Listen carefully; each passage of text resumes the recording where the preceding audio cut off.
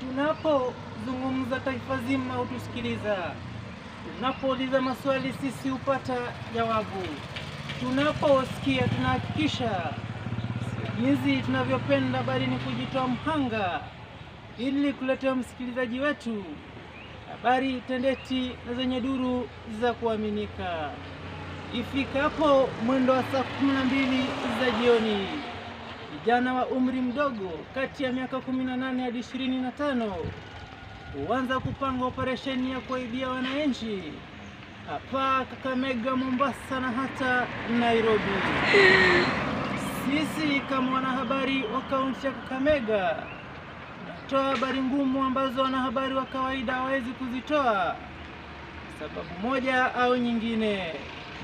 Sio jinsi tunavyopenda, bali ni kujitoa mhanga ili kuletea msikilizaji wetu habari tendeti na zenye duru za kuaminika. Usikose kujiunga nami mwanahabari wako mpekuzi kila siku ya Alhamisi ya wiki. Michael Kongoea, kala ya Jaramandia, kaunti ya Kakamega.